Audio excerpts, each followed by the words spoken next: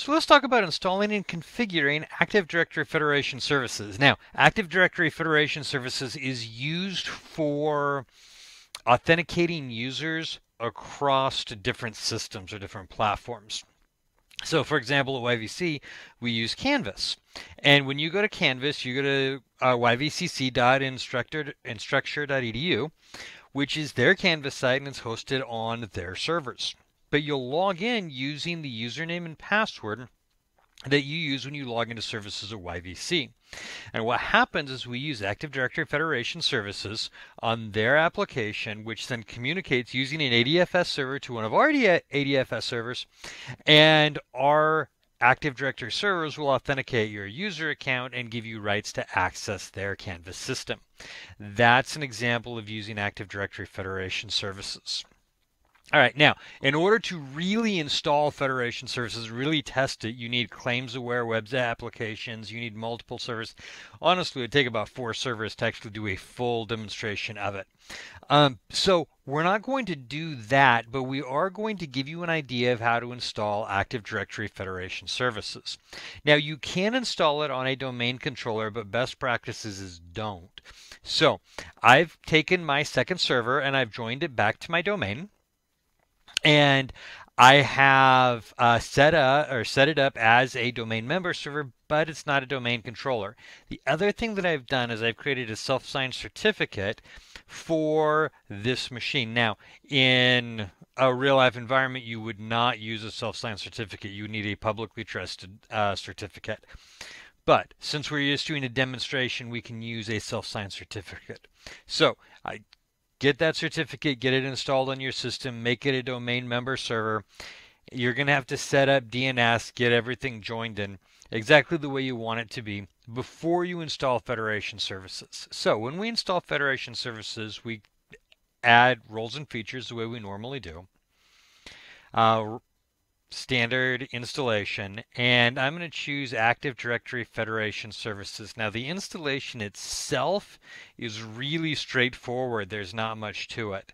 But like most things with Active Directory, once we complete the installation, then we're going to have to go through and do some post-installation configuration, and that's where the fun begins. So I'm just going to let this run and complete its installation. I'm going to pause the video, and then we're going to come back and we're going to pick it up once we get to the post-installation configuration. Okay, so ADFS has finished installing. Let me make that go away. Uh, Active Directory Federation Services has finished installing. And so we're going to click close and we're going to come to our little notification area and we're going to see that we need to configure the federation service on this server. Now remember this is going to have to be accessible from whatever device is making claims against your server or if you're the one making claims it needs to be able to access uh, access that remote uh, server. So it has to be web accessible either way. All right, so here's our uh, welcome page. We're going to create the first Federation server and a Federation server farm. Now, you can't have more than one. You can see that here, add another Federation server, but you can really only have one Federation server per domain. So since this is the first one, we're going to leave that alone. We are going to connect to Active Directory.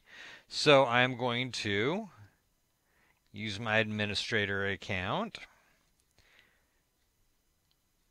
Provided I can remember my password. There we go. Use my administrator account to connect to uh, ADDS. And remember, it can be on the same server, probably shouldn't be.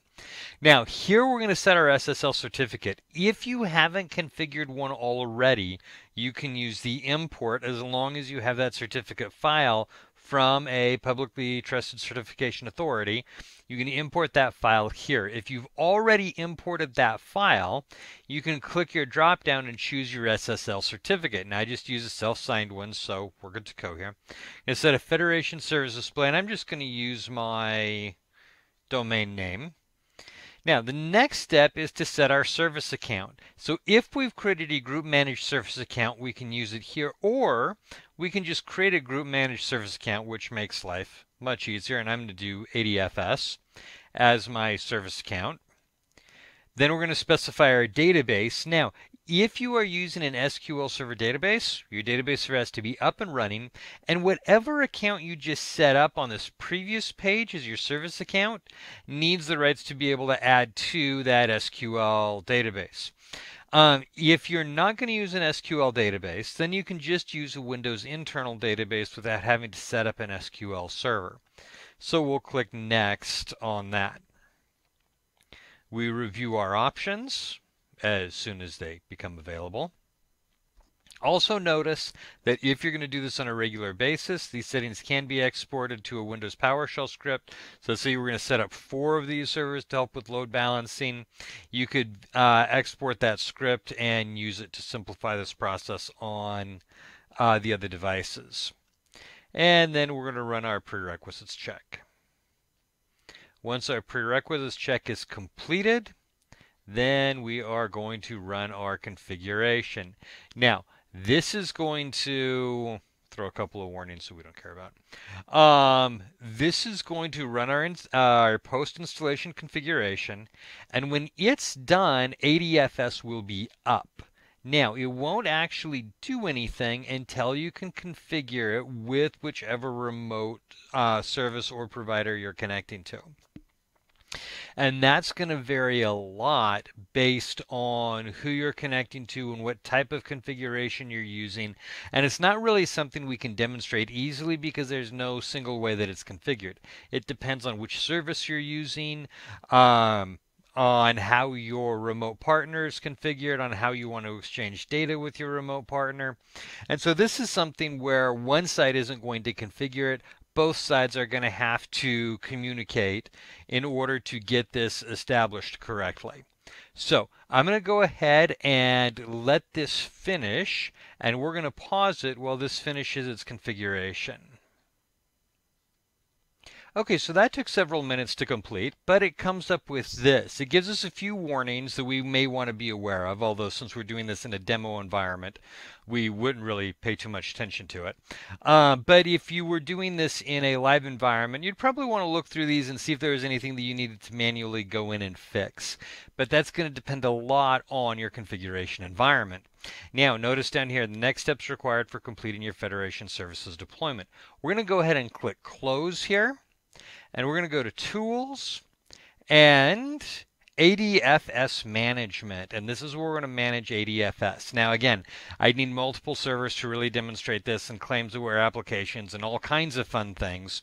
So, um, the way you configure it is going to depend so much on who you're trying to connect with and what you're trying to accomplish, and who's going to be the resource partner, and who's going to be the account partner, and what kind of claims we're going to be using. So there's going to be a lot of different things here. So rather than trying to take you through it, let me just show you a couple of things here. So we have our service information, including claims descriptions, device registrations, endpoints.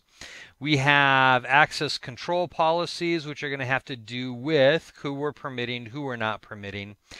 Two of the big things that we're going to deal with here are relying party trusts and claims provider trusts. So what'll happen is one side of one of your organizations will set a relying party trust and the other side will set a claims provider trust.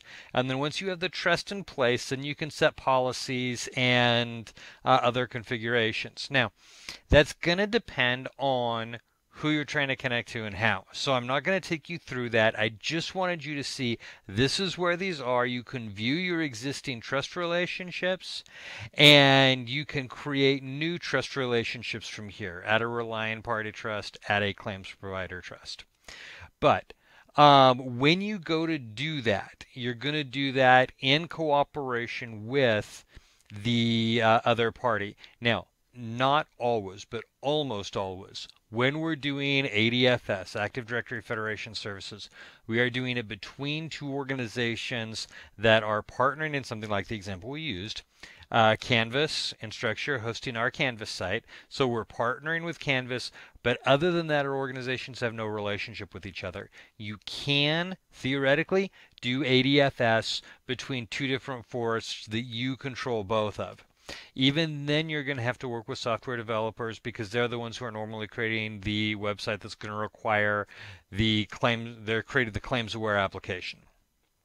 Okay, so that gives you an idea of how we install and do our initial configuration uh, of ADFS. So just remember, once you get to that part, it's time to engage whoever you're working with and see what kind of configurations they want because you're going to need to match what they're doing and they're going to need to match what you're doing in order to get Active Directory Federation services to work. But the reason we do it is so that one side can manage the accounts, the other side can manage the applications, just like Canvas. Canvas doesn't want to, or Instructure doesn't want to create can Canvas accounts for every user at YVC. That's fine. We don't want to maintain the application. That's fine. So they maintain the resource, we maintain the accounts, and we get them to work together using Active Directory Federation services.